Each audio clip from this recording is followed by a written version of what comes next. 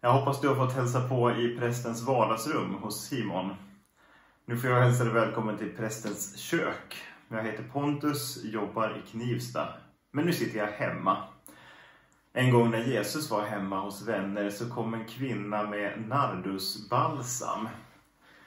Nardus är en växt som växer högt upp i Indiens berg. Om man klättrar högt där uppe så plockar man rötterna från växten.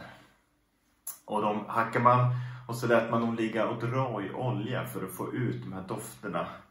För att göra den här dyrbara parfymen. Den var så dyrbar att flaskan som kvinnan kommer med var värd en hel årslön.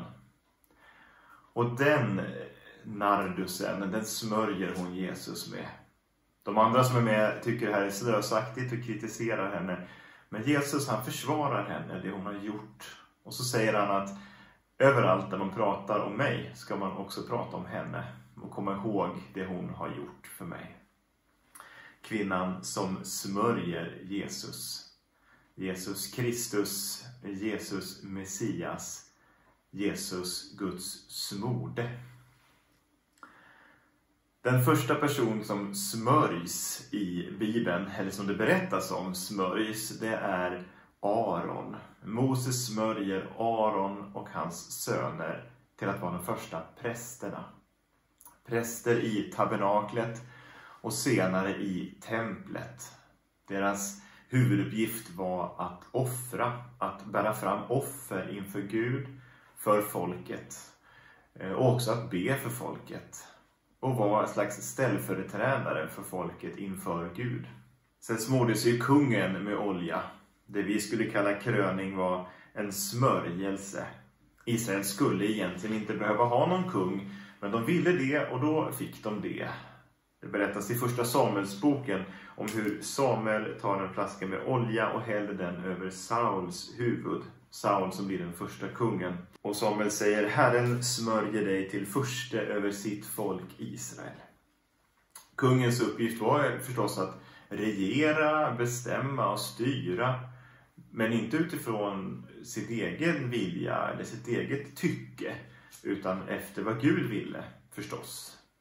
Det beskrivs som ett stort problem under domartiden att var och en gjorde det som han själv tyckte var gott. Och det blir också ett problem hos flera kungar i Israels historia att de inte bryr sig om vad Gud vill. Det finns en lag för det här i femte Mosebok faktiskt. Där står det så här i kapitel 17. När kungen har bestigit tronen ska han låta göra en avskrift av denna lag. Låta göra en avskrift eller kanske till och med göra en avskrift själv. Det kan vara så att det här faktiskt betyder att kungen skulle sätta sig ner och skriva en kopia av Guds lag. Han ska ha den hos sig och läsa i den så länge han lever, så att han lär sig att frukta Herren sin Gud och troget följer allt som står i denna lag, alla dessa stadgar. Det var kungens uppgift, att regera efter Guds vilja. Alla kungar gjorde inte det. Och då kom det ofta profeter. Profeterna blev inte alltid smorda med olja. Det finns några som blev det. Vi kan läsa om hur Elias smörjer Elisha till exempel. Men oljan är ett tecken på Guds ande. Och Guds ande är sannoliken verksam i profeterna.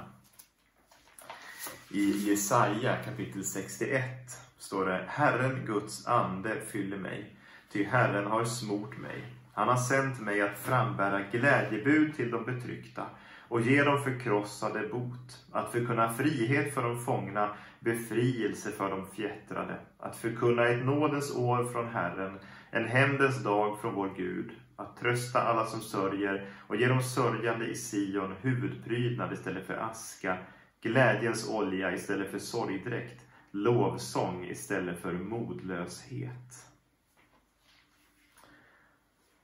Profeterna kommer ofta med kritik mot kungen, mot de som leder och styr, men också mot folket när de glömmer bort Guds lag och gör det som är fel. De predikar omvändelse och de visar också på ett annat sätt att leva De vill visa på vad Guds rike innebär. Man kan tänka på Martin Luther King som en modern profet. Han skriver i en av sina böcker att vi kanske kan vandra i otakt med samtiden men vi vandrar efter evighetens trumslag. Det finns en annan takt som vi följer. Profeterna kommer inte bara med kritik, de kommer också med tröst. Ibland när folket har tappat hoppet, och känner modlöshet, så säger de att även om ni har glömt Gud så har Gud inte glömt er. De förkunnar inte bara dom utan också räddning och frälsning. Det finns några personer som liksom rör sig lite i gränsområdet mellan de här. Till exempel Melkisedek där det står om att han var både präst och kung. Men framförallt så är det i Jesus som dessa tre, präst, profet och kung, förenas och fullbordas. Och ett av de häftigaste liksom, texterna kring det här är Hebreerbrevet. I Hebreerbrevet kan vi läsa om Jesus som vår överste präst. Kapitel 10 står det Jesus frambar ett enda syndoffer för alla tider och har satt sig på Guds högra sida. Med ett enda offer har han för all framtid fullkomnat de som blir helgade.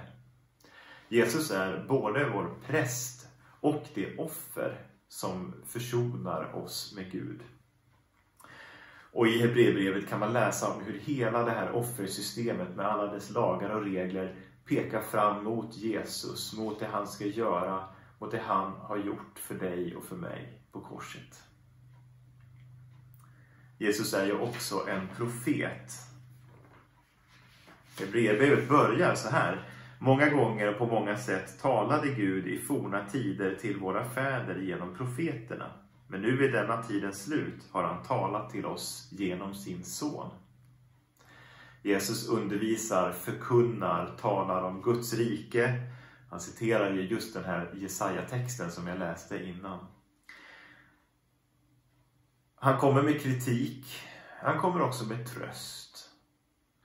Och han inte bara talar Guds ord, utan han är Guds ord. I begynnelsen var ordet. Och så är ju Jesus kungars kung och herrars herre. Det står om att allt ska läggas under Jesu fötter. Och det finns inget undantag, utan allt ska verkligen läggas under honom. Vi ser inte riktigt det här än. Även om det är sant att Jesus är kungars kung och herrars herre, så väntar vi fortfarande på den dagen då allt verkligen eh, synligt är lagt under hans fötter.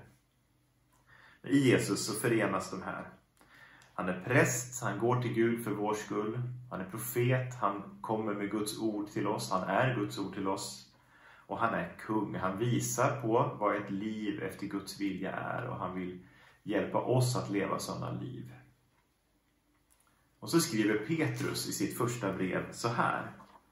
Ni är ett utvalt släkte, kungar och präster, ett heligt folk, Guds eget folk som ska förkunna hans storverk.